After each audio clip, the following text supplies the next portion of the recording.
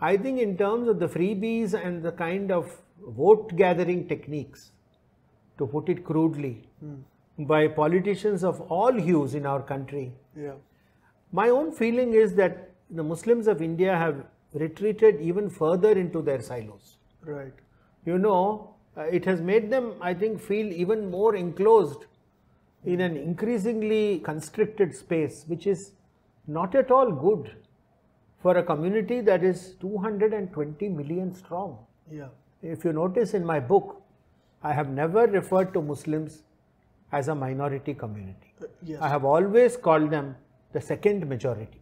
Yes. I think there are two majority communities in India Sanatanis and Muslims.